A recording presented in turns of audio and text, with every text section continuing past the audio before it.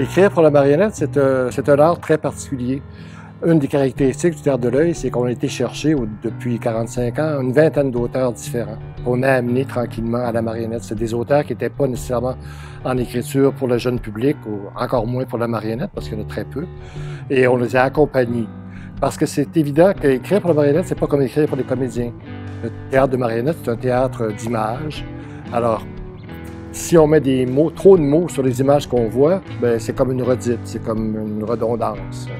Des fois, on écrit des choses qui s'avèrent inutiles parce que c'est la manipulation qui va donner euh, ce qu'on veut, euh, ce qu'on a déjà écrit à travers les mots, les phrases, euh, les sentiments. On ne doit pas trop non plus dire ce que la marionnette ressent parce que c'est un mouvement de tête va l'indiquer tout de suite. Donc, c'est un petit travail de sculptage, de nettoyage qu'on fait une fois qu'on a passé deux, trois versions.